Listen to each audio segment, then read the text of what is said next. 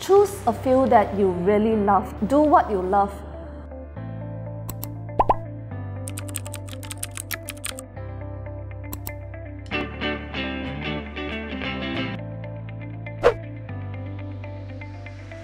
Hi, my name is Soekie.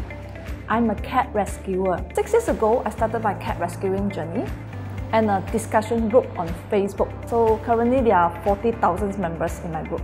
I always wanted to create a fund to have this TNR fund so that I can help as much of stray animal to control their birth uh, overpopulations. Then last year, I come to Startup Johor. I met Feng telling him that okay, I have this idea, I have this group of members, but I do not know what to do. Very lucky that actually guided me, so I joined their Founder Institute program. So they actually guide me to build a company. So this is how Petto is created. Petto, the main mission behind is that wanted to help in control of overpopulation in stray animal in Malaysia. This is how Petto created. Petto is a social enterprise. So like every 100 ringgit purchase on Petto, 5 ringgits will go to my stray animal fund.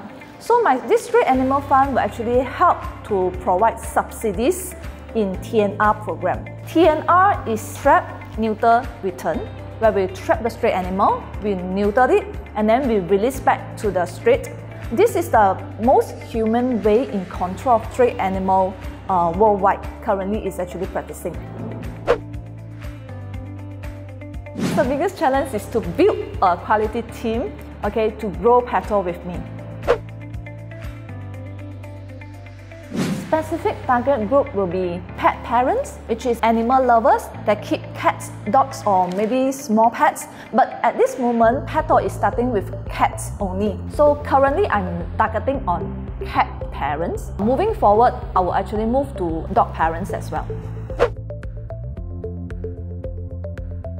The one important criteria that I'm looking for my employee is that there must be a pet lovers. They have to love animals. I have a dream office. I wanted to have an office that allowing my employee, my staff, okay, my colleagues to bring in their pets and work together.